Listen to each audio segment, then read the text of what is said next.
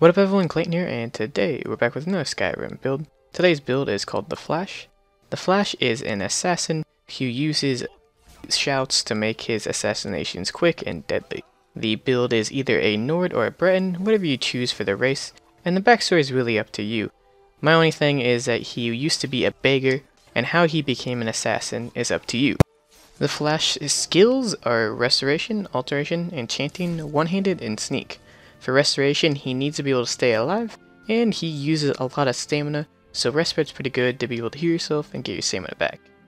Alteration is also very good for this build, since you'll not be using any sets of armor. You'll be using ragged cloth, uh, beggar outfits, because you used to be a beggar before you became an assassin. So you want to make sure you get points in Alteration, so you can cast flesh spells to keep yourself alive. Enchanting is here so you can enchant your jewelry, either for more damage, more health, stamina, or any other stat you really think you need. One-handed is important because you'll be using dual wield, make sure you can swing as fast as you can, get the dual wield perks. And sneak is also very important because this build is a sneak build. Before we get into how you play this build, we're going to talk about the weapon and armor real quick. For the weapons, I use ebony swords. You can use any other sword you really want, but you want to be able to use swords because they swing the fastest and that way you can you know be the flash of lightning strike down the enemies real quickly and then move on. For the armor I use beggar outfit beggar clothes anything that's not light or heavy armor. Since you'll be using a lot of alteration for flesh spells you can't use any armor because it'll negate some of the bonuses that you get from the alteration tree. Also jewelry of your choice is also recommended.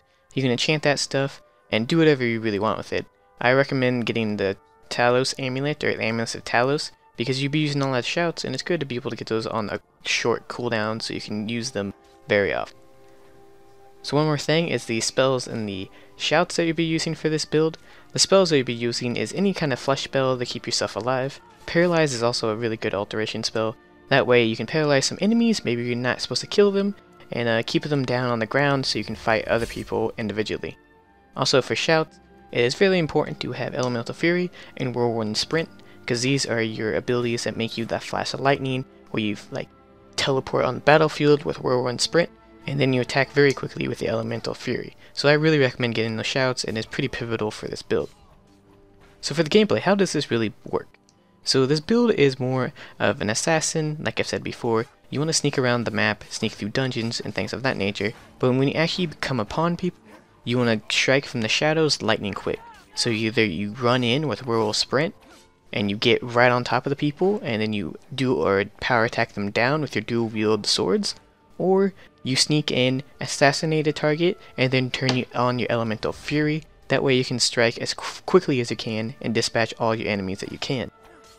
But before going into battle, make sure you always get your alteration cloak up. That way you can take some damage as well as make sure you have Magicka for Paralyze, because Paralyze is really good if you're fighting big groups of enemies that you can't all nuke down at once.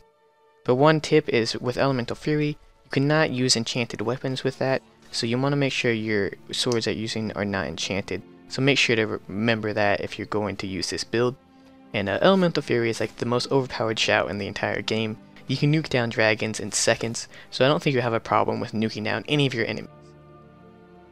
One last major thing I want to talk about is for this build, you want to have pretty much all your points in the stamina. The reason why you want to do this is that you want to be able to run around the battlefield, power attack as quickly as you can. You don't want to run out of stamina, and uh, it's kind of more of a stamina build to be honest. If there was the acrobat perk, or the acrobat skill line in this game, you definitely go into it because you're going to be running around the battlefield, dodging arrows, dodging spells, power attacking all over the place. So I recommend probably a 15 15 70 split between your stats. So that means 15% of your points in the Magicka, 15% the health, and then the 70% in the stamina. So you really want to make sure you get your enchantments to be able to balance those out, so that way you can cast your alteration spells and make sure you have health to stay alive during fights. So hopefully you guys enjoyed this build. If you did, make sure to check out these two builds here. And uh, yeah, sorry for the lack of builds. I just haven't really found any builds that really jumped out at me. I had a lot of fun playing this build and making it, so hopefully you guys will enjoy it too. And uh, if you guys have any recommendations for builds, make sure to leave them down in the comments down below. Anyways, thank you guys so much for watching, and it's Clayton, signing out.